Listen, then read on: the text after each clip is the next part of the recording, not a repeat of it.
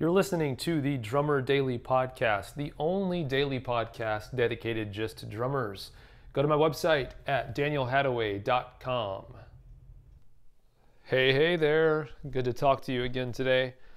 Uh, as I mentioned yesterday, we are now going to be in part two of three of my mini series, my three part opus, my trilogy of epic awesomeness on having more fun playing, or not having more fun playing drums, having more fun practicing the drums.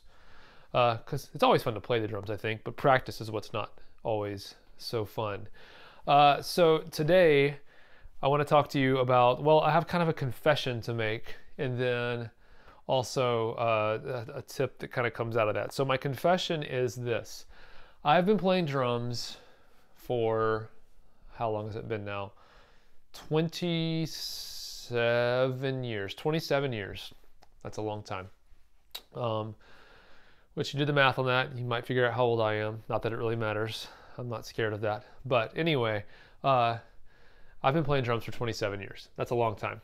Uh, and from day one of playing the drums until this very moment now, I'm talking to you.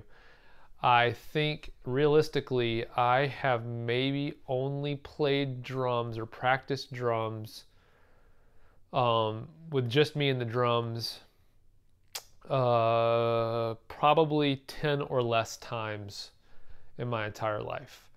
Um, and I would guess that most of those times were either during a lesson that I was taking or, um, let's see, uh, oh, I was prepping for an audition um, for uh, when I played for this Christian artist, uh, Rebecca St. James, years and years ago. And when I was preparing to audition for her, uh, for her band, I practiced a couple of times uh, the songs that I needed to play I practiced those from memory to make sure that I had them completely learned without any reference for music.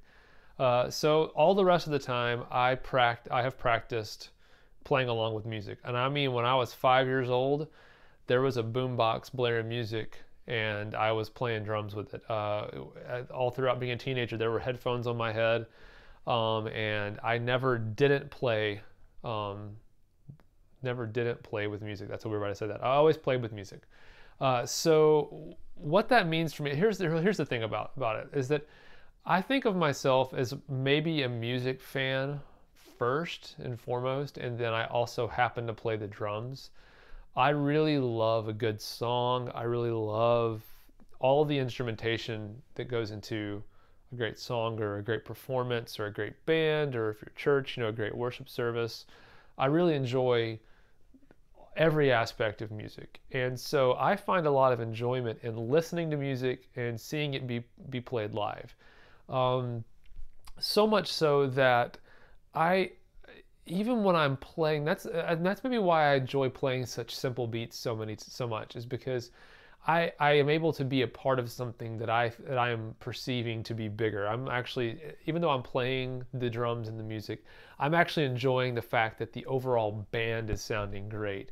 Uh, and I'm and I get to be a part of it. But I, I enjoy listening to live music so much, um, uh, and I enjoy listening to music so much. I'm just a, I'm a fan of music, and so it's really easy I think for me to to play along with with other music. Um, when I'm practicing because I enjoy listening to it in the first place.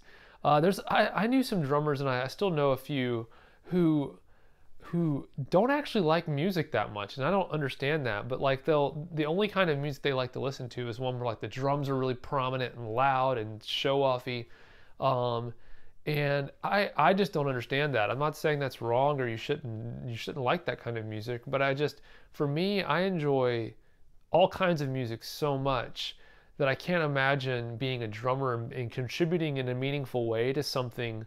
Um, like my thing is this: like if if these drummers who love stuff that only features the drums prominently, I I don't know how when they get in a situation where the drums aren't being featured prominently and they have to kind of lay back and just kind of you know hold down the beat in the you know in the background.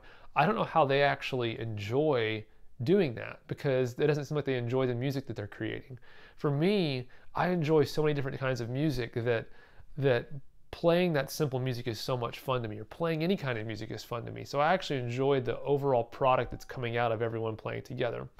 Um, all that to say, if you're looking for a way to have more fun playing music or playing drums, play along with music. I, I know that, like I, I mentioned yesterday, like the the technology or the equipment you might need. You may not have everything to make it perfect, but try as hard as you can to, to, to do it. I, and if you don't normally do this, give it a shot. I think that's maybe why too. Like I, I have been able to overall do a little better at playing with a click track because I don't have to. Uh, a lot of the music that I've played along with growing up, I'm sure it was recorded with a click track, and so now that I naturally have maybe have a little bit better sense of time. But the crazy thing is, like until I played, uh, I don't think I ever had played to a click track until I played uh, for when I got the Rebecca St. James gig. I don't think I consistently played with a click track ever before. I done stuff at church here and there where they said, "Oh, hey, you know." You know, we got backing tracks on this song or a drum loop, and it was a pain for me to play. Um, so maybe that didn't affect my playing with a click track too much growing up playing with uh, with songs. But anyway, my tip today is play along with some music if you can, uh, and enjoy enjoy hearing what's coming out from the music and not just what you're doing. Because um, I think you can find so much joy in small, quiet parts and in simplicity when you start to really uh, pay attention to how what you're doing is fitting in with everybody else instead of just focusing on being right or playing it correctly. So uh, go out there, have some fun, and I'll be back tomorrow with part three of this magnificent series. I hope you are doing well today, and I'll talk to you again tomorrow.